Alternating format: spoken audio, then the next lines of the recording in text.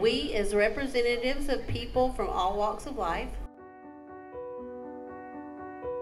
all faiths and all ages, all faiths and all ages, all genders and linguistic groups, all genders and linguistic groups, express our commitment express our commitment to a life free from violence and abuse life free from violence and abuse. by holding hands in solidarity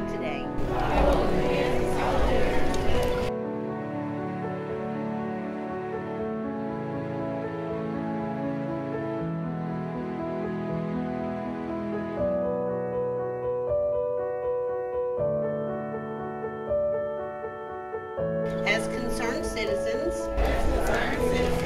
family, friends, and intimate partners,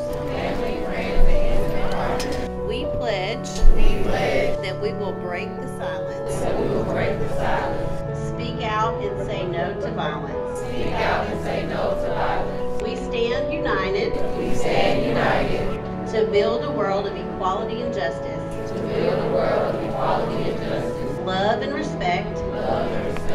tolerance and peace. tolerance and peace.